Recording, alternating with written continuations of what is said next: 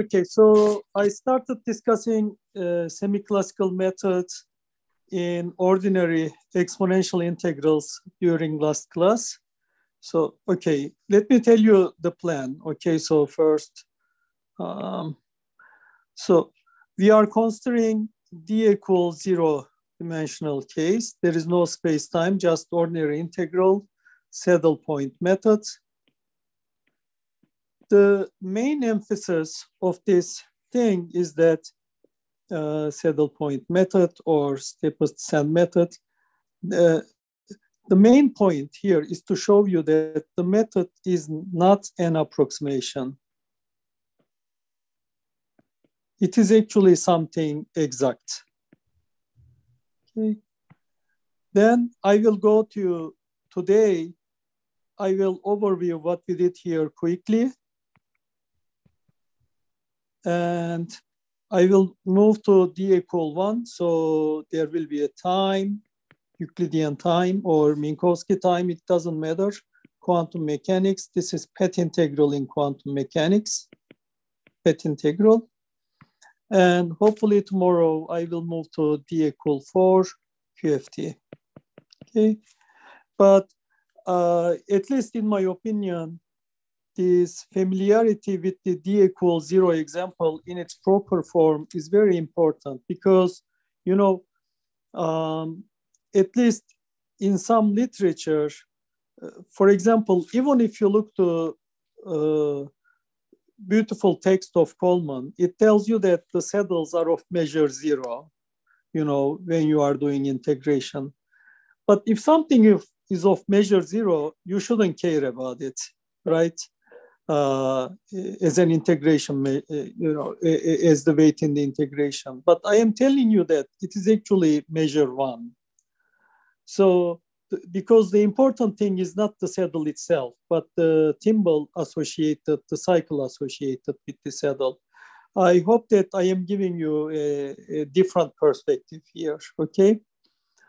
So even in, uh, you know, better discussion of this topic, you know, uh, it is always treated as, a, as an approximation, but I am telling you that at least in ordinary exponential integrals or I am showing explicitly that it is not an approximation, it is an exact method which has uh, lots of interesting structure. So as I said, today I will overview what we did here quickly. Then I will move to quantum mechanics uh, and many, many nice examples in quantum mechanics. Then on the last day, I will move to four-dimensional QFT.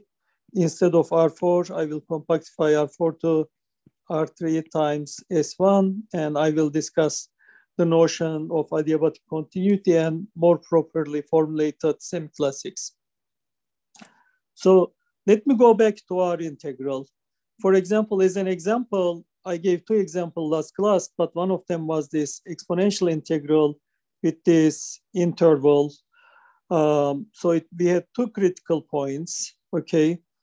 So if you define this theta here, theta is argument of lambda. So as I said, there are two critical points, this uh, Z0 and Z, Z0 and Z1. This is Z1, this is Z0. And the steepest descent cycles passing through this, uh, when the argument of lambda is zero minus, you know, it comes out this way, goes this way, comes this way, okay, and goes this way. You see that actually this piece cancels with that piece, this piece cancels with that piece. It is really a representation of this segment. The only thing that contributes is the segment. But if you make argument of lambda slightly positive, then the steepest descent cycle jumps this is the manifestation of Stokes phenomenon, and it goes up instead of having this structure, okay?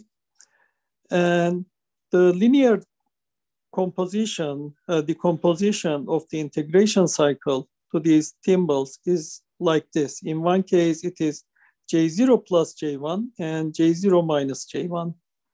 So as you can see, there are two discontinuities in this story.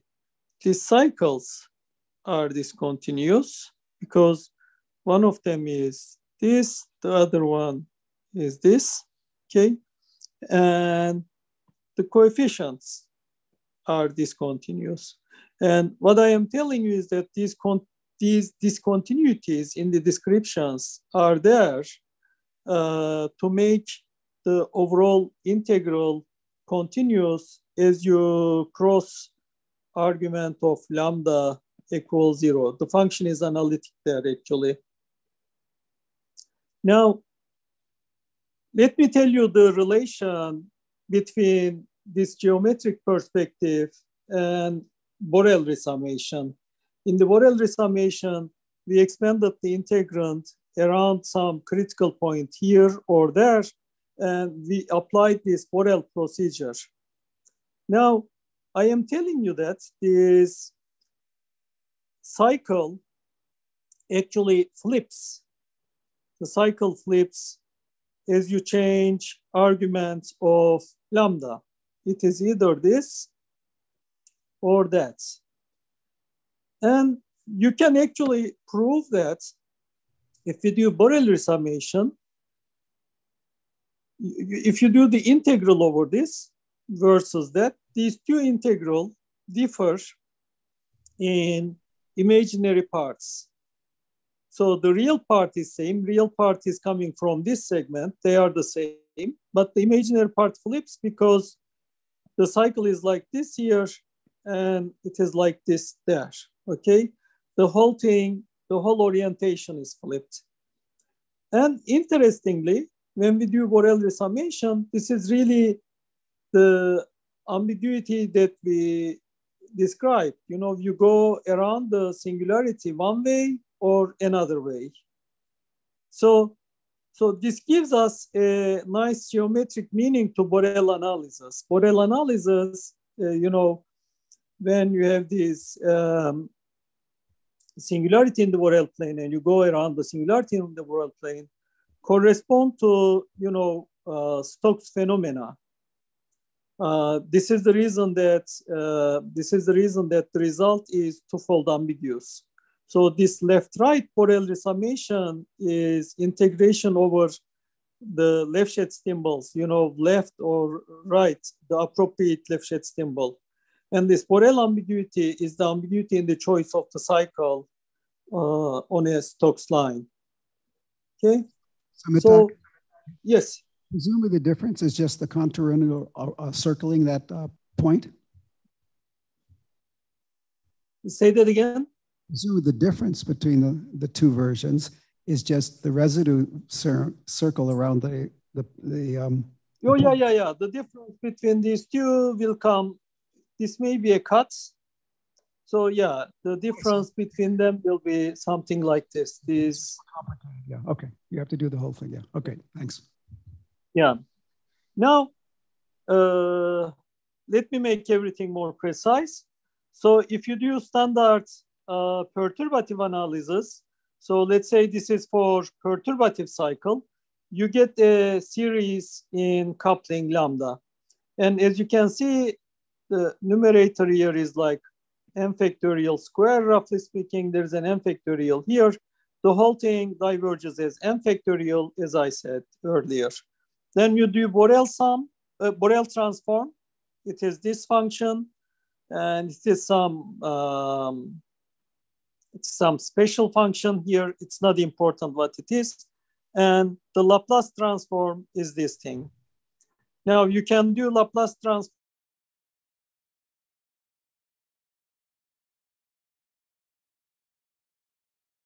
the following. This is related to the question that uh, Rich uh, is asking. So if you do this sum this way versus this way, the difference between these two is given by this Hankel contour. So look to this formal series, do summation one way and the other way. You can manipulate this kind of integration and the final result is this. It tells you that the discontinuity in the Borel resummation of the perturbation perturbative series discontinuity in the Borel summation of the perturbative series uh, or, or uh, is given by these non-perturbative factor and the series around the other saddle. This non-perturbative sector is associated with the other saddle in the problem. And this is the series around the other, uh, other saddle. So let us emphasize the punchline. So this punchline is very important and it carries over to path integral in many interesting cases, um, as far as I know, in all interesting cases. The discontinuity of the Borel summation of the series, one of the series associated with this saddle is determined by only other saddle, other series associated by other saddles in the problem and nothing else. So this is the essence of resurgence. The set of all series around all saddles are closed under Stokes jumps. The Stokes jump of one is dictated by other saddles in the problem. So this is the this is the moral of the story. The the Stokes jump is not something random. It is really the information about other other saddles in the problem. So here is the trans series, okay, for the partition function. There is perturbation theory, there is non-perturbative sector. For this range of arguments of lambda, this is theta. For this range of argument of lambda, this is the trans series. For the other range, this is the trans series. But we are interested at, for example, argument of lambda equals zero. Then it's zero minus and zero plus. This is the decomposition of the cycles. Now, if you do this combination of Borel and Borel-Écalle summation, what's called Borel-Écalle summation, you see that, for example, if you take the first representative here, Borel summation of this thing gives some imaginary part, but this part cancels with the with the um, with the contribution of the other saddle, and you obtain this result. And the point is, this result is exact. Is real, exact, unambiguous. Okay, and this is the realization of this phenomena. So the, in principle, we obtain some imaginary ambiguous part by doing some Borel summation, but there is another contribution in the problem in the trans series like that. And, um, and the, these ambiguities cancel each other out and you obtain the, the uh, exact and real result. So I gave you two perspectives on this. One perspective is really some form of complex analysis, let me say analysis. And I also told you geometrically how and why this happens, okay? But now you can say, um, you can say this is just a simple exponential integral and everything is very explicit and there is cancellation of ambiguity and you can indeed obtain exact result from asymptotic analysis. Uh, but what if even if you go to quantum mechanics, you have infinitely many coupled integrals and in general infinitely many critical points. What happens then? You, you can ask what happens in QFT. Okay. Okay.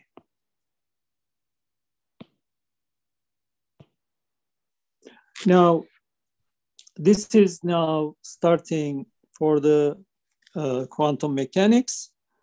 So I will describe some of these uh, techniques in the quantum mechanical example. So I, for example, either double well or periodic potential, okay? Is everything I said about the zero dimensional example fine? Uh, okay. So I will consider simple quantum mechanics with Lagrangian, you know, one half x dot square plus v of x. I parameterized my v of x as w prime square. the reason for that uh, will be clear from the next line. So this is some bosonic quantum mechanics, you know, just uh, regular quantum mechanics. I will also consider this very nice generalization of the quantum mechanics where you have a bosonic field and many Grassmann valued fields, okay? If it is only one Grassmann valued field, if NF is equal one, then this is supersymmetric quantum mechanics, which has some special properties. Interestingly, NF greater equal to are also special. They are related to something quasi exactly solvable system. Not that W of X is general. It can be anything. It can be uh, any function there. And it will turn out that uh, this is not very important for our, this is not important for our story, but as a side information and it's a fun fact. If exponential plus w or minus w is normalizable uh, function, so then the lowest NF states in these systems are exactly solvable. So these systems I am telling you the lowest NF states are exactly solvable if either of these things are uh, normalizable wave functions. So NF equal one is the supersymmetric case. And these systems, NF greater, greater equal to two are also very interesting. NF equal one received lots of attention in the past because it is supersymmetric quantum mechanics, but the others are also very interesting. Now, you notice that uh, there is only time derivative acting on the Grassmann field. Because of that, you can actually uh, quantize the fermions easily and you can find a collection of Hamiltonians. For example, in supersymmetric quantum mechanics, you can find H plus minus here. And in this NF greater than one case, you also obtain a collection of Hamiltonian Hamiltonians so you can write these Hamiltonians. So you can write this system as a sum over purely bosonic sectors with modified potential. So this was classical potential. This part is classical. And when you integrate out fermions, this is what you induce.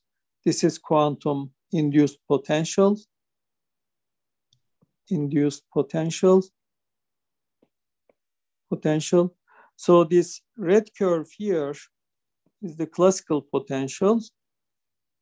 And this black curve here, it is classical plus um, quantum modification. Similarly on this picture here. Now, if you write down Lagrangian, uh, so there's a, again, classical Euclidean Lagrangian classical potential and quantum induced term. So in some sense, this, uh, uh, this tilting here is a one loop quantum effect.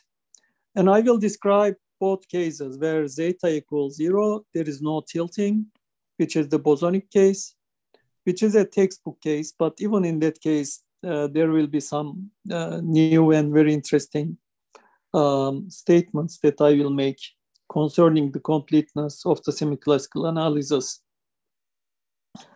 Okay, so zeta equals zero is in some sense textbook example. Um, zeta, um, some other integers are also very interesting example. Zeta is in R is also interesting, but yeah. Let me start with uh, for example, double well quantum mechanics with this potential, okay? Perturbatively, there is a left, uh, you know, there is, there's a left ground state and right ground state perturbatively. These are um, left and right well. But of course, non-perturbatively, we know that the ground state must be unique and parity even. So this thing here is some nice wave function which looks like this. And this is anti-symmetric. Looks, it's a wave function which looks like this. And oh, hi, Mithat. Yeah. This is Anosh. Uh, one question on the previous slide. Yes, Anosh. Uh, so, uh, so here it's uh, you are saying that the tilting is a one loop quantum effect. So, do we know uh, what the effect would be once we include all the orders, say non-perturbative? Oh, actually, um, this is one loop, but it's actually exact. Um, okay. Higher, all higher no, corrections are zero. Yeah, yeah, yeah. Because here, actually, you can, uh, you know, when you quantize the fermions, so in the Hamiltonian, this will map, this part uh, will disappear in the quantization. There will be, because there is no kinetic term, and this part will give you this W double prime, this operator psi i dagger, psi i, two times this minus one. This is number operator. So just this part. So, and this number operator will tell you the number of fermions in a given sector. So it is, um, so, okay, maybe there is a summation over I, okay, and yeah.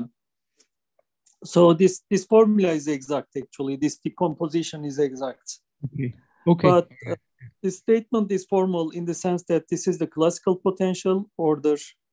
Uh, you know, if I write in the uh, perturbative normalization, yeah, this would be order uh, G to zero, this is order G to one. So all I, my emphasis is that this is, uh, you know, one loop in G. It's higher order in G or higher order in H bar, if you wish. Okay. Okay. Thanks. Yeah. The, but at this stage, this is exact. Um, now, actually, if you consider perturbation theory on the left well or on the right well, it doesn't matter what it is. You can actually write down ground state h bar omega 2, you know, you form this series and not very surprisingly, this series AN is divergent, uh, you know, uh, it grows factorially and the series is a divergent asymptotic series. So and this, uh, this degeneracy between left and right persists to all orders in standard perturbation theory. Of course, taking the tunneling into account, tunneling is just instanton effect, which I will describe momentarily. The parity even, parity plus, parity minus state is the real ground state of the system. And there is an energy gap between this parity odd state and parity even state. And this energy difference, delta E, is given by an instanton factor. Okay, this is standard textbook um, textbook result here, but I will uh, I will tell you some new things about this system. Okay. So first, of course, I hope that all the students here are familiar with uh, instantons in or tunneling phenomena, but instantons in the Euclidean path integral formulation. So did I give formal definition? I, I gave a formal definition in, in few pages, but pictorially, these are the configuration which goes from, uh, you know, you consider the, in the Euclidean setup, you consider the inverted potential and you consider configuration which starts on the left and goes to the right. In the Minkowski space, this corresponds to tunneling events um, uh, between left and right, okay? But these things, these instantons are actually saddle points of Euclidean path integrals. And you can calculate the action associated with this instanton, and this is the instanton for our case. And you can tunnel back and forth, right? You can go this way, come back, go forward, come back, so on and so forth. And this thing, this instanton amplitude is in some sense the density of instantons, instantons, okay, here. So you can have this array of instanton, anti-instanton for this system. And for this system, an instanton must be followed by an anti-instanton and vice versa, okay? So, so you have these uh, dilute instanton gas, and this thing is actually responsible uh, for the energy splitting. Um, energy splitting is this. And as I said earlier, when I was discussing ordinary integral, if you look to this expression, um, if you try to Taylor expand this in G around zero, you will get zero plus zero plus zero, you know. So you learn that this is non-perturbative. It is not uh, expandable. You cannot expand it to a uh, perturbative series, okay? And, but I also told you that this thing, this perturbation theory around one of the wells is an asymptotic divergent series, okay? Okay. Now, actually, if I, uh, let me see, if I, let's say I have this series uh, in perturbation theory, g square n, n equals zero to infinity. So if I work this out and look uh, do you apply the same as the uh, the method of Stokes? Do you know if I sketch errors as I go to higher order, error gets smaller and smaller and smaller. Okay, this is the error, and there is this point where there is a least term truncation, least term truncation, and you, if you look at there, uh, just exactly as in our ordinary uh, integral discussion, there is an inherent error that you cannot overcome. And this error turns out to be exponential of minus one over three g squared. And remember that the energy gap, which was the instanton effect, was exponential minus one over six uh, g squared, okay? So clearly, perturbation theory has some information about instantons, interestingly. And I will describe for you this in very uh, quantitative way. Now, first, I want to put you put a reminder. if you look to standard textbook concerning instanton gas, you will see an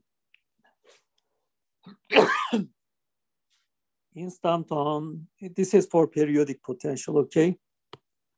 Doesn't matter. But for periodic potential, you can have an instanton followed by another instanton, another instanton, come back, come back. I'm just following this pattern. Excuse me, just a second.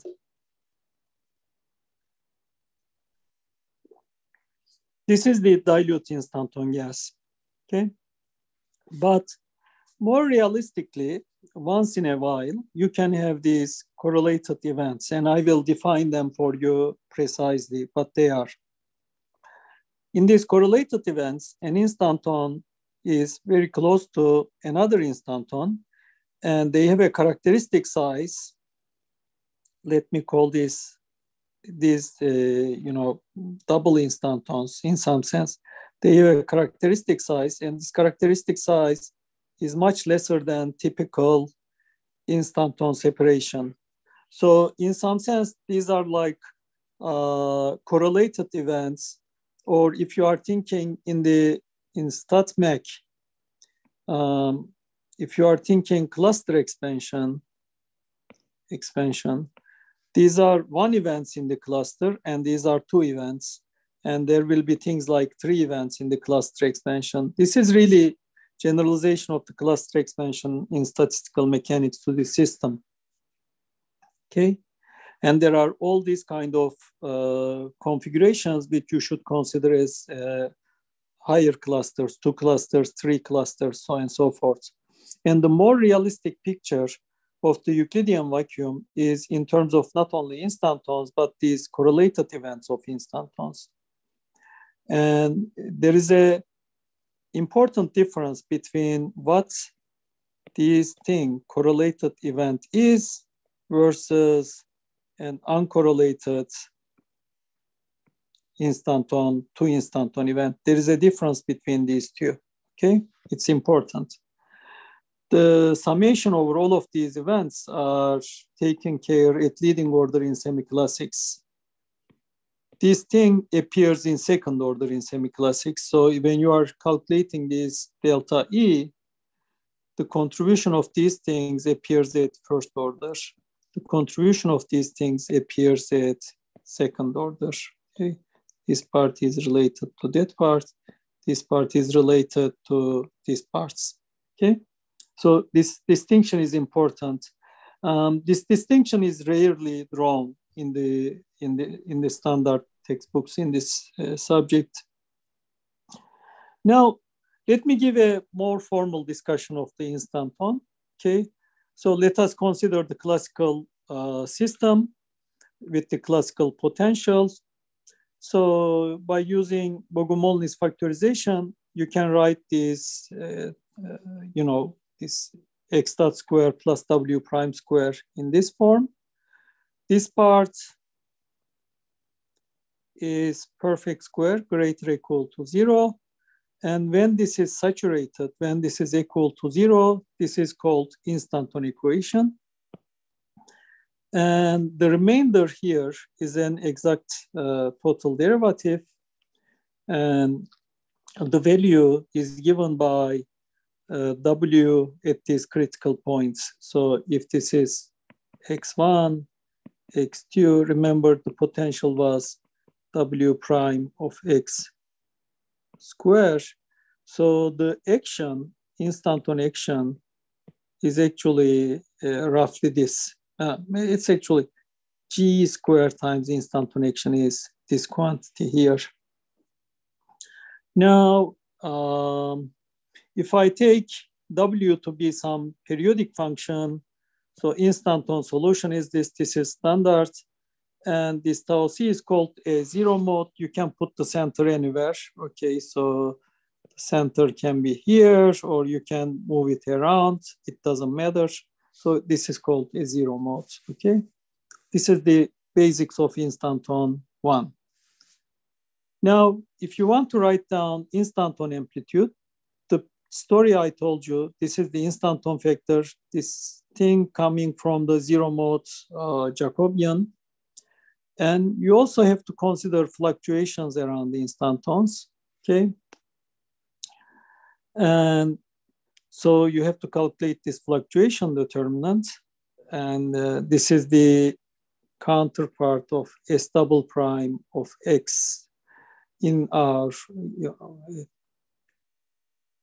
at X critical, X minus X critical square. In the ordinary integral, when you do expansion, Taylor expansion, there is an evaluation of S double prime it takes critical. Here we have an action functional in Qm.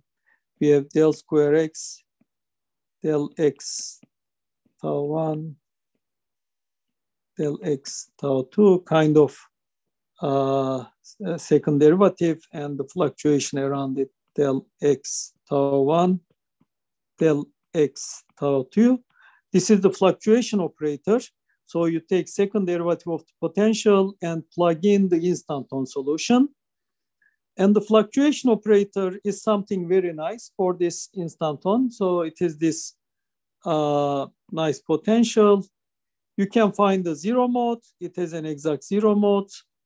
And this hat in the determinant tells you that the zero mode must be removed. And then there is also perturbative expansion around the instanton. And I will not go in there.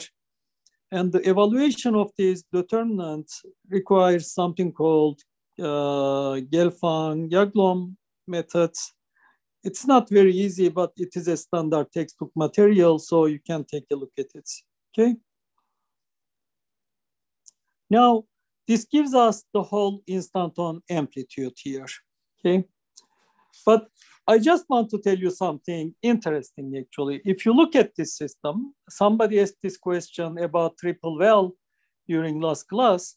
For example, if you look at this system, there is clearly a classical configuration which goes from here to there or from here to there. So there are clearly instantons here. Instantons of this form are present. Here is a question. Do they contribute to the energy at order exponential S instanton? Does anybody know the answer to this question? It's a trick question.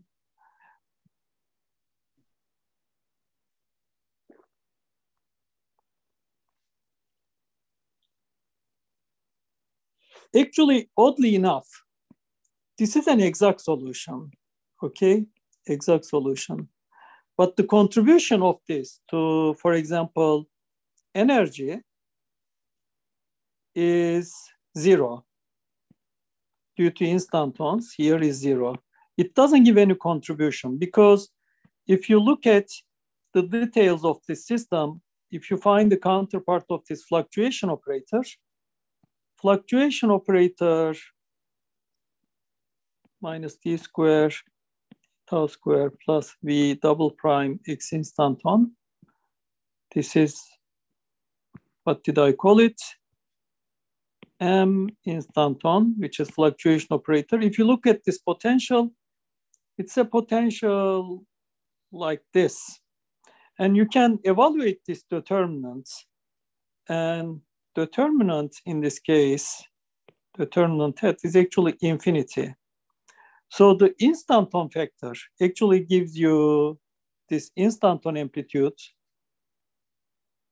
has a coefficient here, and this coefficient is zero because this is determinant to power minus one half.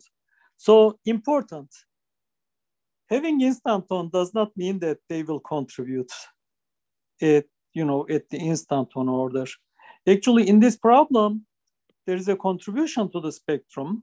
For example, this state and this state here, the, the they are degenerate perturbatively, okay? And they, the degeneracy will be lifted up, you know, non-perturbatively, but this non-perturbative factor is exponential minus 2s instanton. It's not an instanton effect. It's a two instanton effect correlated, uh, not too uncorrelated instanton. It is this, uh, in some sense, uh, two events, II kind of events um, that contributes. But at order, at instanton order, at the coefficient at the instanton level is zero. So having an instanton does not mean that there will be a contribution of order exponential minus s instanton to the partition function, okay? I hope this is clear because honestly, this case is never discussed in textbook. You, you not in textbook, but it is the generic case. So it is like a lamppost effects, you know, uh, uh, in the standard double well instanton contributes we know what to do with them and you know and we give that as the canonical example. But if you take some generic uh, polynomial potential the standard instanton contribution will be zero. And it comes from this fluctuation operator determinant of the fluctuation operator being infinite. Okay? But i will not go to the details of this but i wanted to give you a larger perspective on things. So I wanted to mention this. And at higher order, as I said, at order exponential to S instanton, there will be tunnelings like this, which contributes. There are also tunneling which goes there and comes back, which contributes to the spectrum. But this thing here, it does not contribute, okay? Now, um, this is the at least uh, qualitative story. Now, if you want to do perturbation theory in QM, in textbooks in you know undergraduate, we learn this Rayleigh Schrodinger perturbation theory. Um, and this is not a very efficient way to implement perturbation theory. You know, we never do, you know, we do first order, second order in standard textbooks in quantum mechanics, introductory quantum mechanics. Rarely you will find something about third order, but you know, uh, the, the, the, the, general case is not, uh, general order is not discussed. There is another implementation of perturbation theory. This is uh, due to Carl Bender and Wu, and it dates back to 69 they did the quartic, uh, this double well potential, okay? Uh, but uh, fairly recently, uh, you know, uh, Tin Sulejmanpasic uh, generalized this method to general polynomial potentials. And that part is easy, but he implemented a Mathematica package uh, which allows analytic computation of the perturbation theory in these quantum mechanical systems at arbitrary order, if you wish. You know, um, something like uh, 100 order can be obtained analytically. It is symbolic calculation. So it is really not numerical, not numerical. Numerical if you put parameters in the potential, you will obtain a perturbative series as a coefficient, a, the perturbative series as a function of the parameters, okay? Um, so obtaining a 100 order, it's like two minutes or one minute of order few minutes. Um, if you want uh, 500 order, it takes a couple hours, um, okay? So let us look to how perturbation theory behaves. Now perturbation theory, here it is written as a function of coupling and level number. This n plus one half is something that you are all familiar with. It is n plus one half h bar omega, but we set h bar and omega to one. And these are corrections to it, okay? And this term and this term, you can give it as a homework question in quantum mechanics, but not this term. But the Mathematica package gives you arbitrary order here, this Mathematica package. Uh, you can obtain it, it's publicly available. Um, uh, it gives you this uh, structure of perturbation theory. And for level n, if you look how the large order terms behave, you see that it actually diverges as m plus 2n factorial.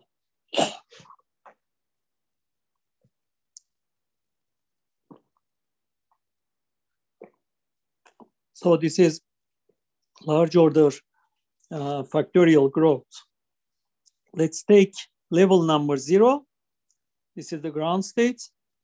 It diverges as m factorial but the coefficient is given in terms of instanton data.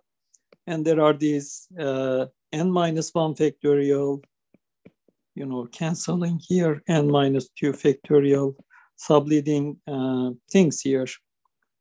Okay. Now, okay, so it is divergent and asymptotic.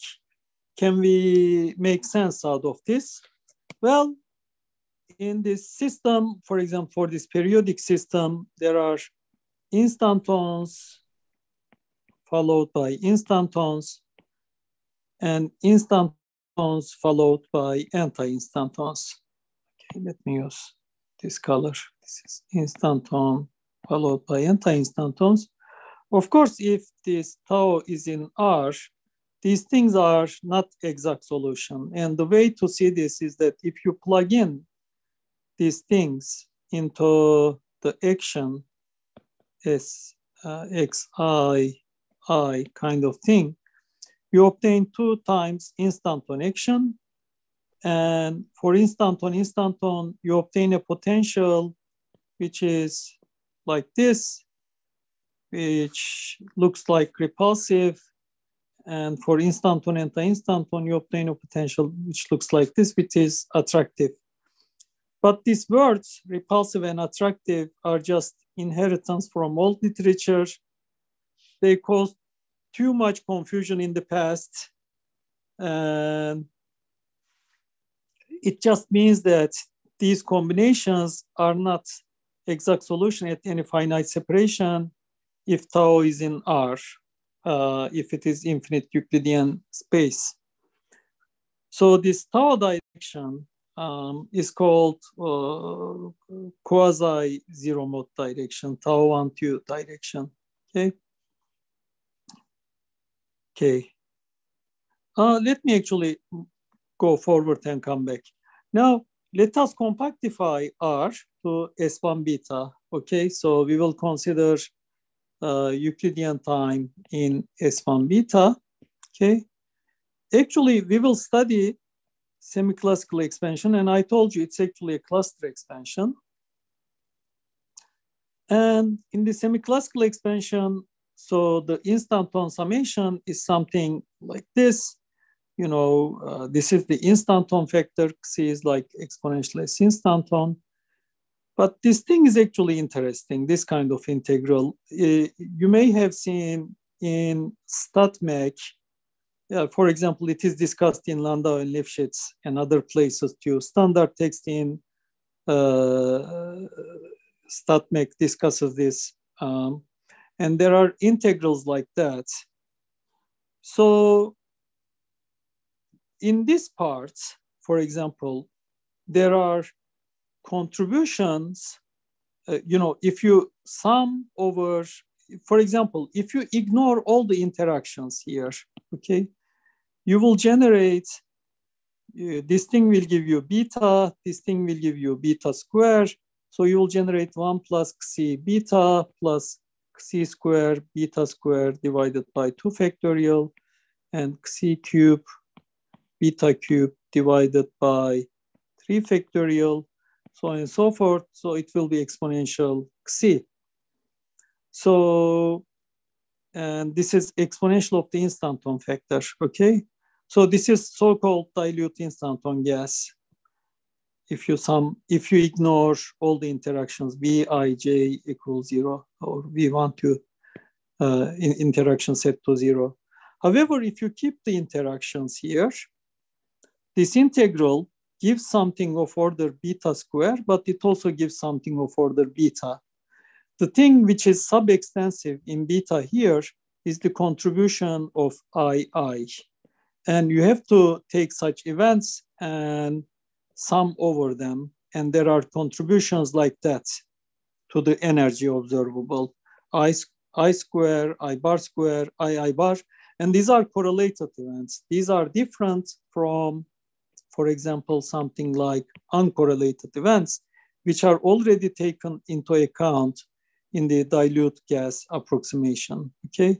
So this thing, these higher order terms here are the uh, you know, in some sense, these uh, two events, three events, and stuff like that. Okay, this thing here is coming from the proliferation of the instanton. This thing is coming from proliferation of the anti-instanton. Doesn't matter.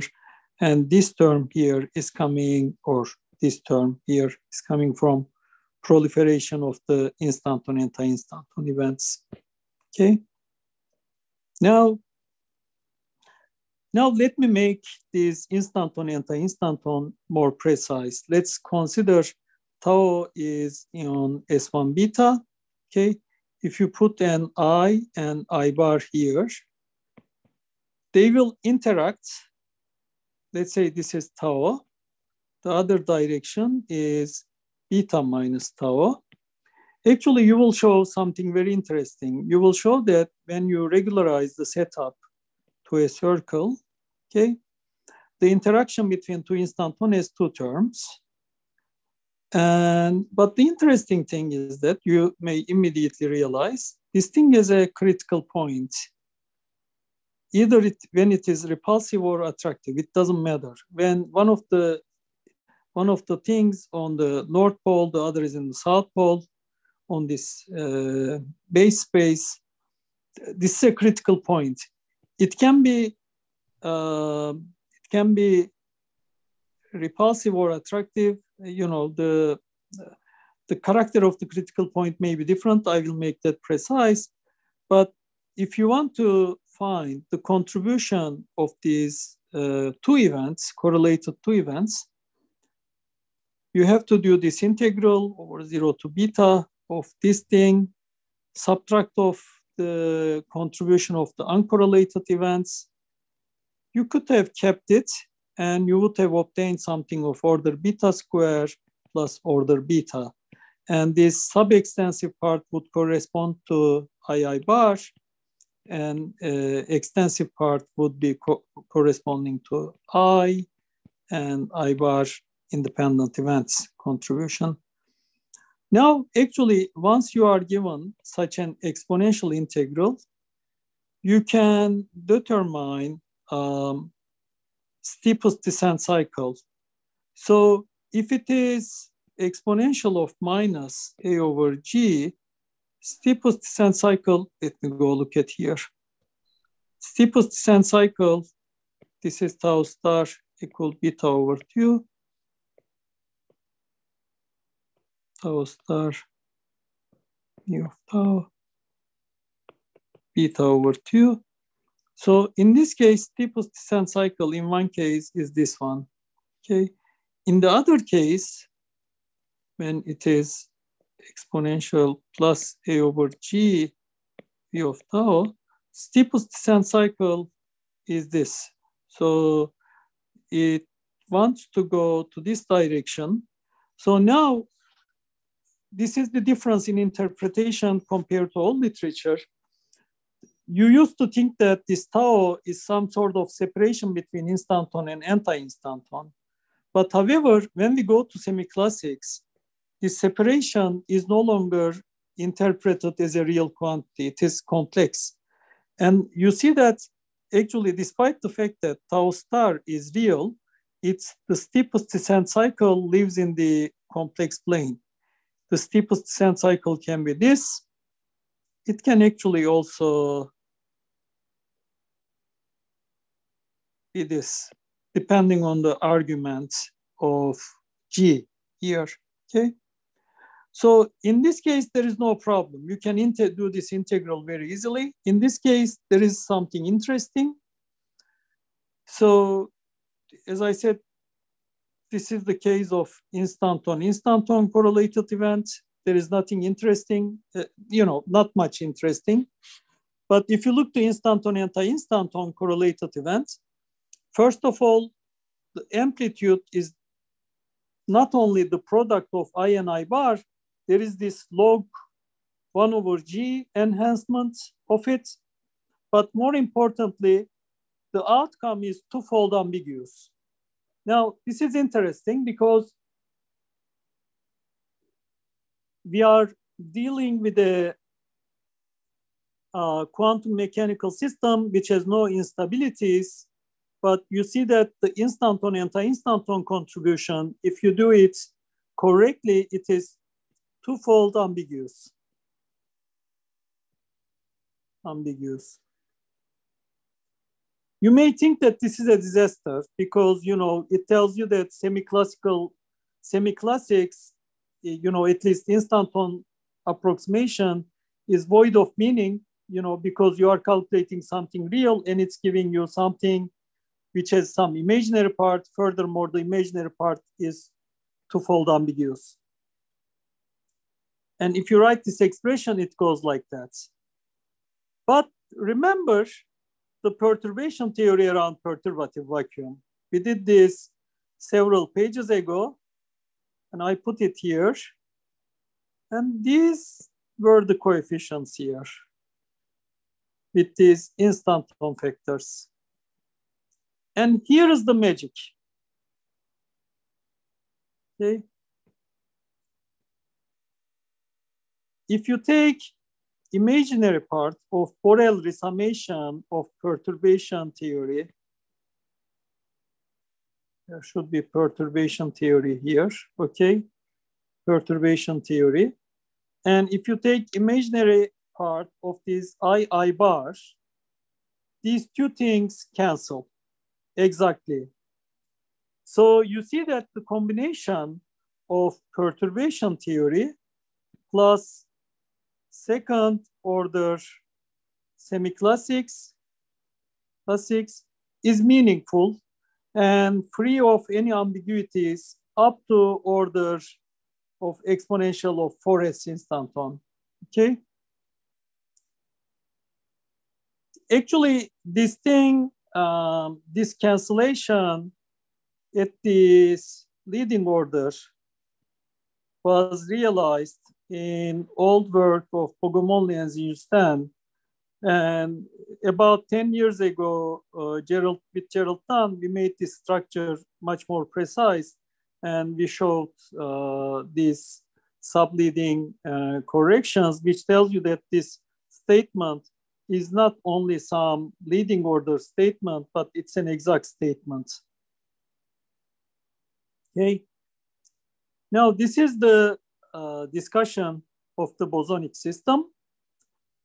Now, let us look to supersymmetry, quasi-exact solvable systems, and in between. And here things get even more interesting. Um, well, uh, there is this quantum tilting, as I said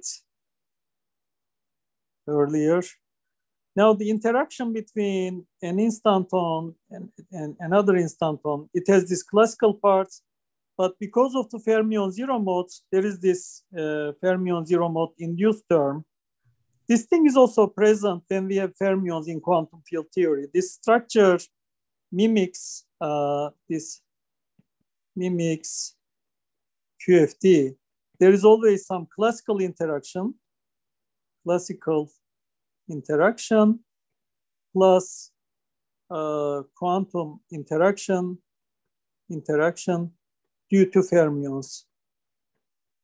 Um, this structure emerges in any, more or less in any QFT uh, with fermions uh, in, in, in higher dimensions. So the fermion effect is encoded in this zeta tau, okay? Now the bizarre thing is following. So the classical part is this, okay? So the uh, I, I was supposed to say some words a few pages ago. I told you that the critical point here is that tau equal beta over 2. Tau star equal beta over 2. Note that as beta goes to infinity, this critical point goes to infinity. Because of that, and this is when the interaction becomes zero, this is called critical point at infinity. And it has some interesting features and they manifest themselves best in these systems. So any questions there?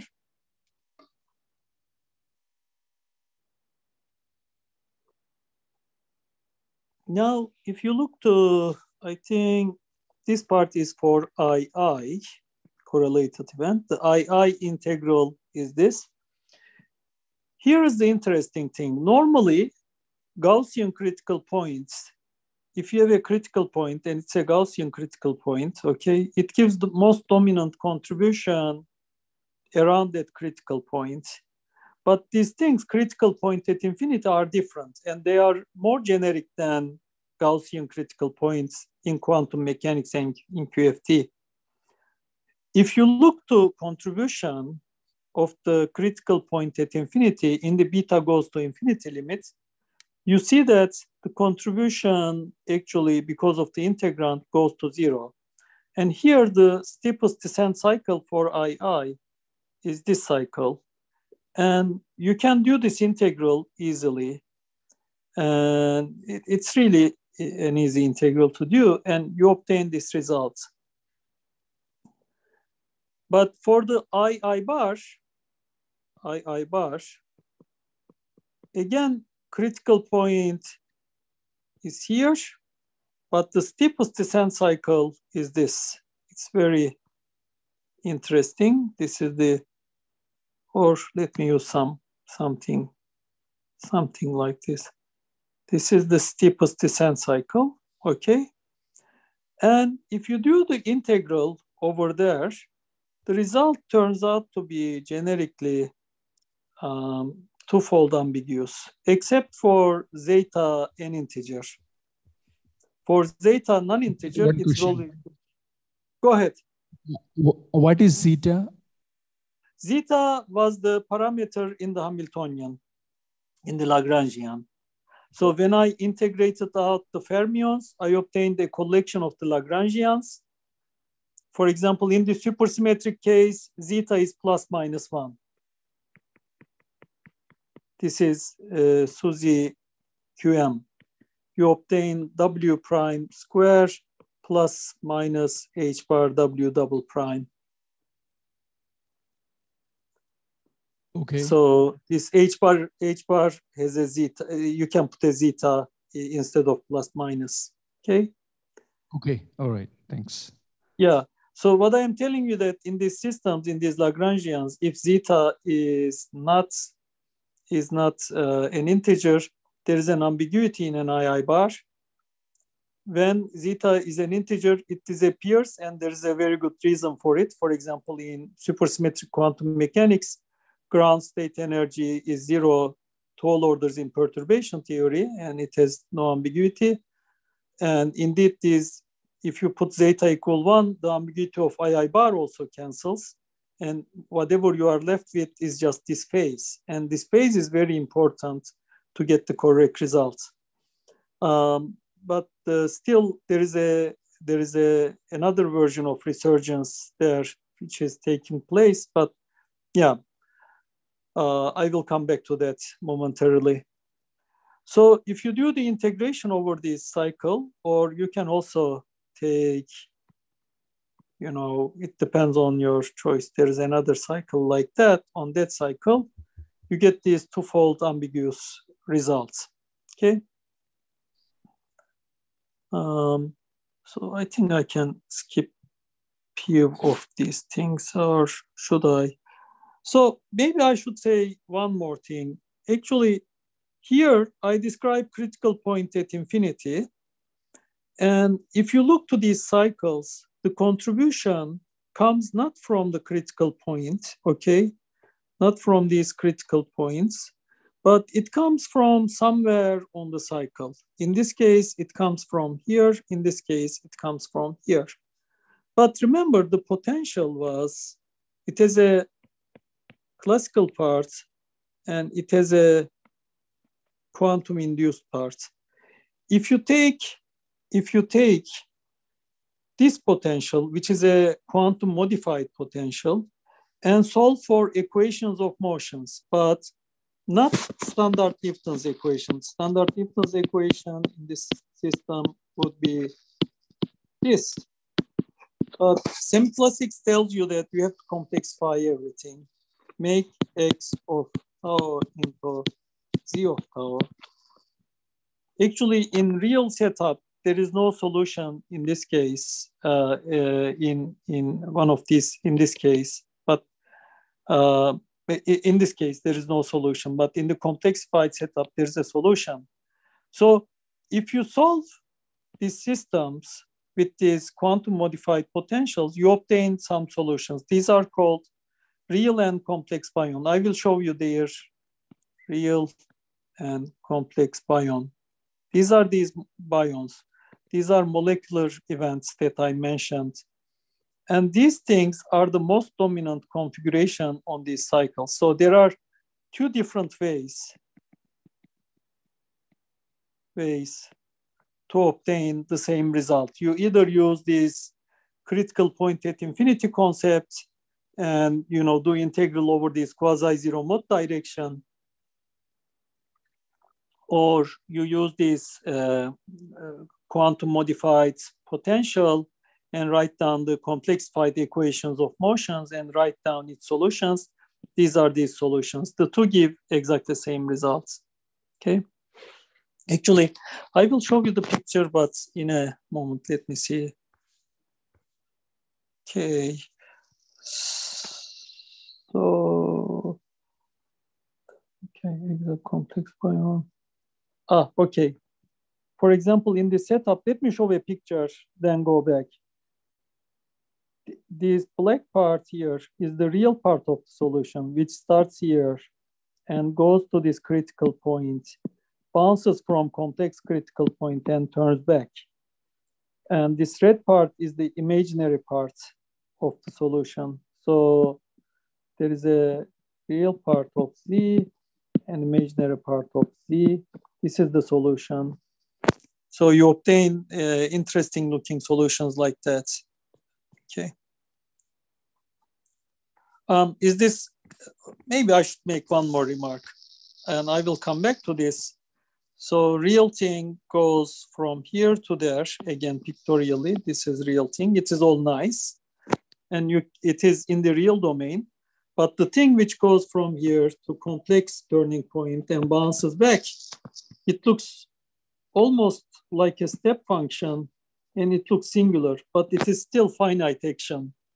And uh, these are quite interesting configuration. You see that some configuration which is complex, almost discontinuous, and which has almost singular structure can be completely finite action and contributes to the path integral. Okay. Maybe I will come back to that momentarily. Oh, uh, maybe I have five minutes or so. Uh, okay. So this thing I can go over quickly.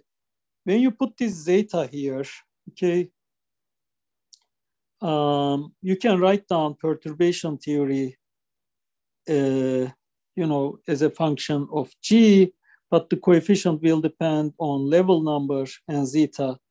Zeta equal one is the SUSY case.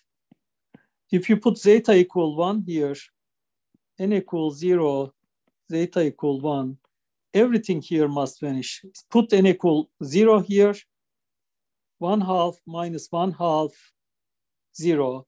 Here, if you put here minus two plus two plus one, uh, what does it make plus one? Oh, n is equal zero, I'm sorry. n is equal zero, that's this part is minus one, and this part is one times zeta. For zeta equal one, this term vanishes. You see, n equals zero, zeta equal one, all of the terms here are zero. So this is supersymmetric case. But when you deform it from zeta equal one, um, from zeta equal one to some other zeta, there is a divergent asymptotic series here where the coefficients here are polynomials of n and zeta. Okay, zeta, zeta square, zeta cube. And you can study large order structure of the perturbation theory. There is this n factorial growth. There are, there is this structure, some um, function b0, b1, b2, etc., which depends on this parameter zeta. So now I am capturing many theories at once. Zeta equals zero is the bosonic theory, zeta equal one is supersymmetric theory, zeta equal two is quasi-exactly solvable system, and arbitrary zeta in between is something else, okay? And I am capturing all of them. All of them have a divergent asymptotic expansion.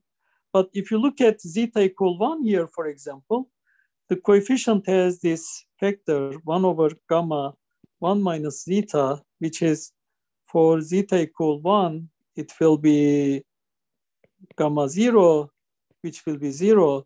So you see that for supersymmetric case, this dies off.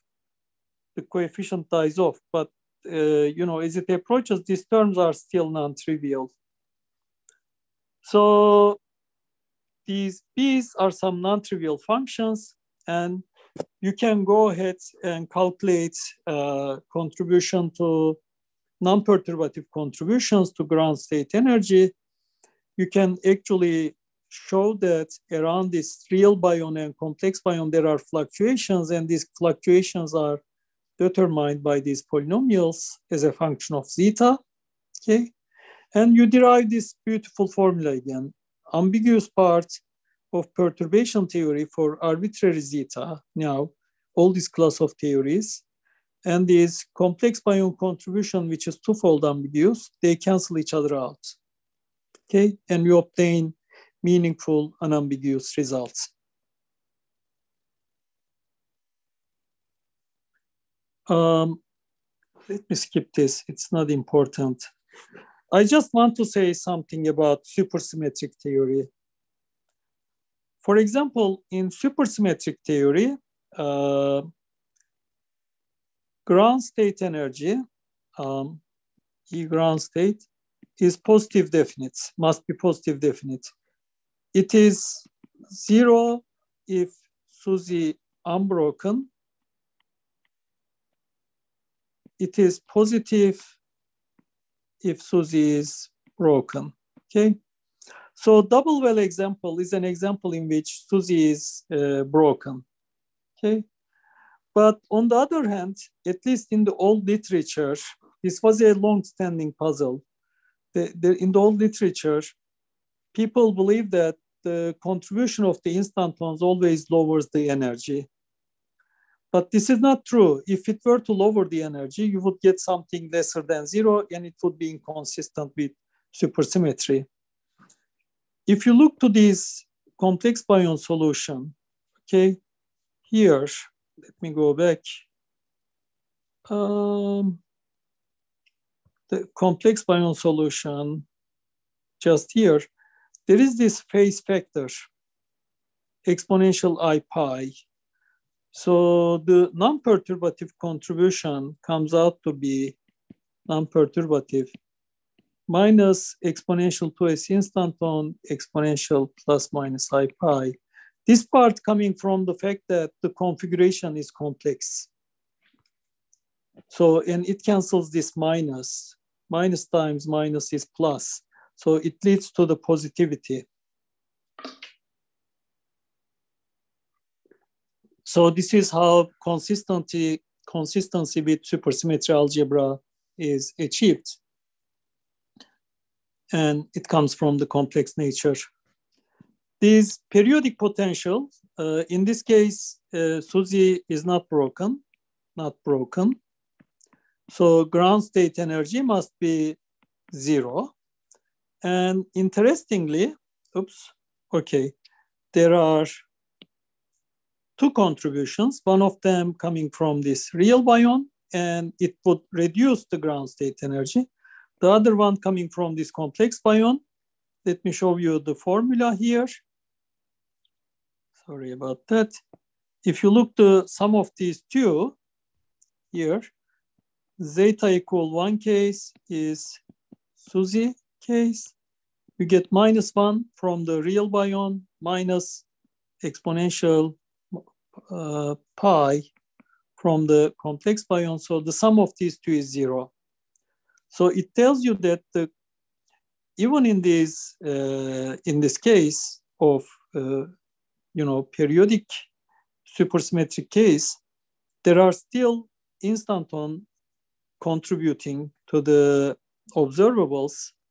And in this case, this real bion and complex bion contributing to the observables, but their sum adds up to zero.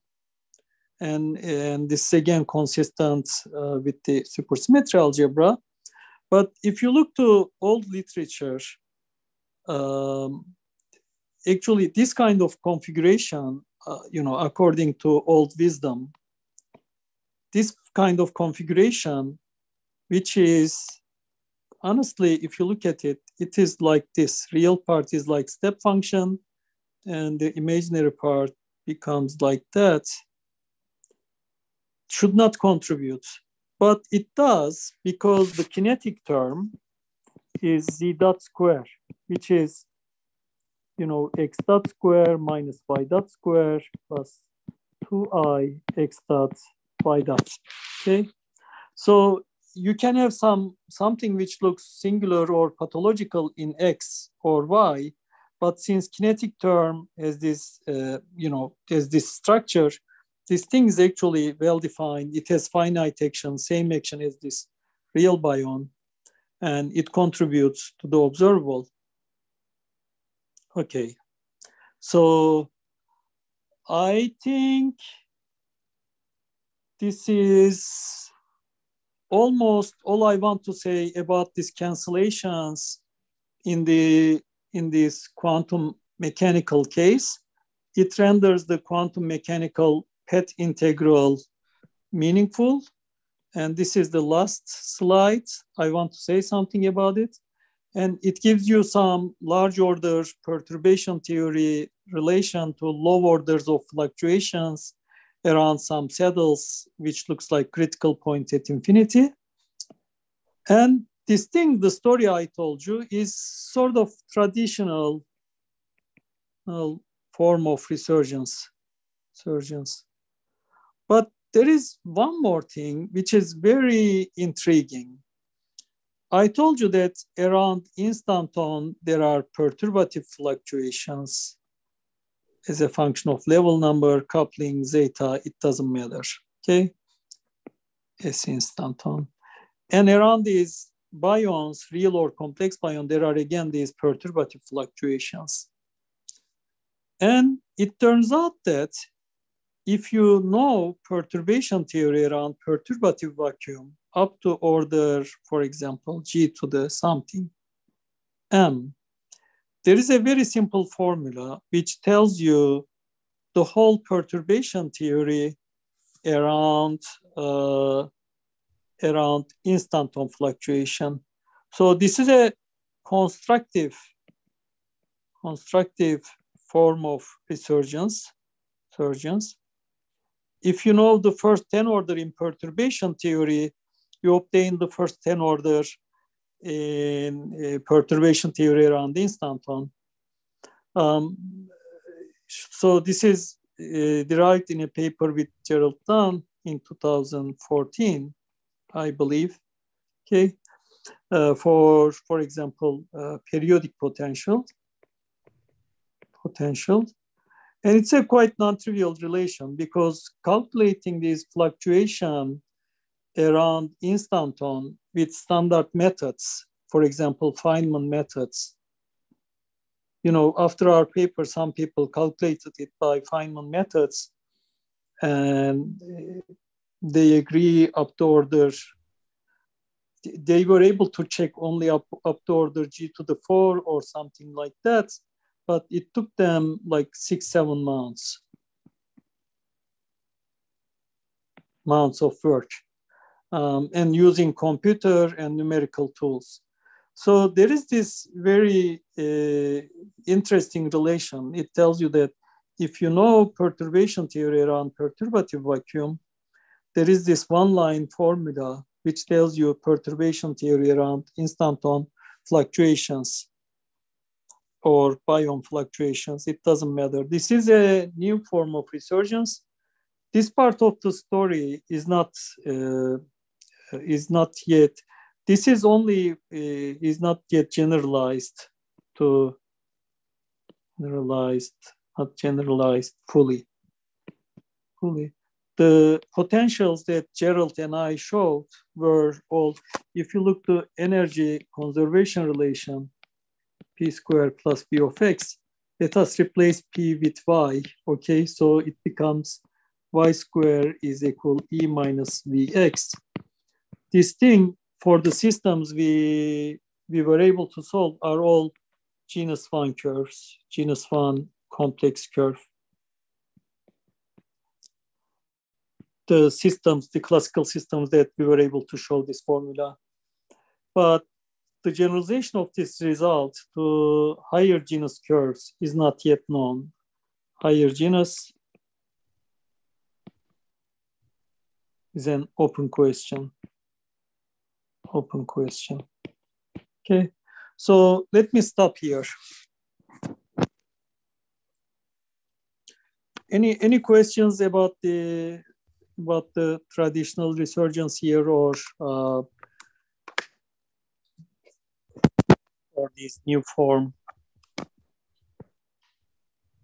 Hello. Okay. Yeah.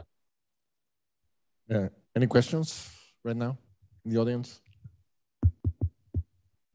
Uh, I have a, a, very basic question. Not uh, when you discuss the double well potential, uh, you mentioned that the ground state is doubly degenerate, uh, but then like it's a one-dimensional potential and it's well behaved. So shouldn't it have any degeneracy? Like it should not have any degeneracy, right? In of course, mechanics? it is lifted Uh, it is doubly degenerate to all orders in perturbation theory.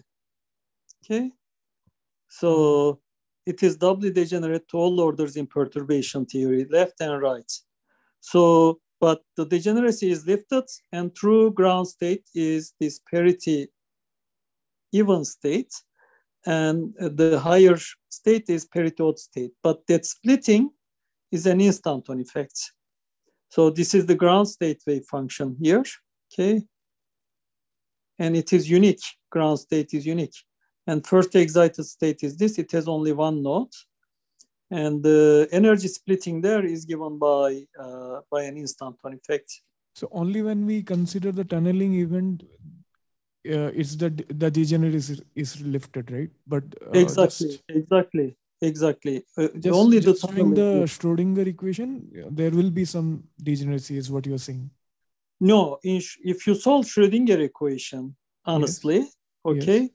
from there as well, uh, you will get this solution. Let's say you solved it numerically, Correct. you will get this thing. So Schrodinger equation has the same data about uh, has the same data about the um, has the data about the instantons or okay. WKB methods. You can also do with WKB, right? Okay. Okay. You can write down WKB wave function, which has this uh, uh, P of x prime, dx prime up to x. So let's say this is WKB KB wave function.